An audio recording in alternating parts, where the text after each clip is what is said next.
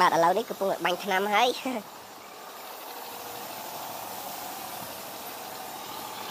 បាញ់ថ្នាំតែម្ដងយកហ្មងព្រោះអីគេប្រញាប់នេះអ្នកម្ចាស់បាសគេវាយបាញ់ខ្លួនឯងតែម្ដងហើយគេអត់យកទេដៃលើកដៃអីគេប្រញាប់ចាក់ខួបកំណើតកូនគេល្ងាចហ្នឹងតែម្ដងហ្នឹងគេគេបាញ់ខ្លួនគេគេចង់ធ្វើខ្លួនគេដែរបាទ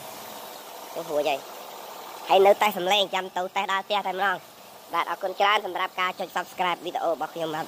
ម្នាក់មួយដើម្បីទទួលបានវីដេអូប្លែកៗពី Channel ឆានកៅ Tech ទាំងអស់គ្នាបាទសូមអរគុណ